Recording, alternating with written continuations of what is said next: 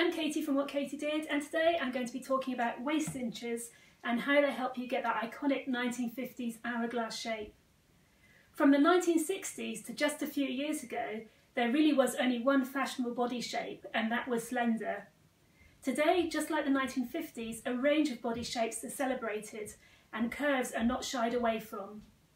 In the 1950s, women exaggerated their busts with bullet bras and minimised their waist with waist cinchers for a super hourglass silhouette.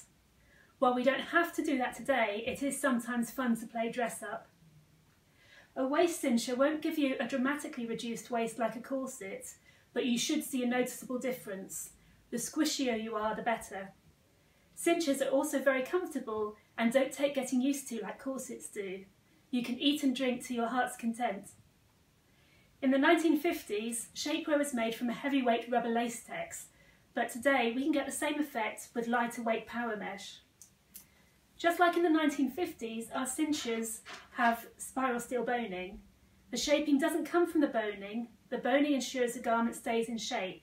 When you bend, the steel boning springs back into shape, unlike plastic. The shaping actually comes from reinforcements on the waist, a wide power mesh band plus an internal elastic tape.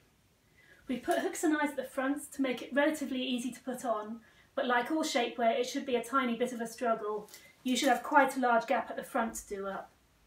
The six suspenders are detachable, so you can wear with or without nylons. It's really up to you.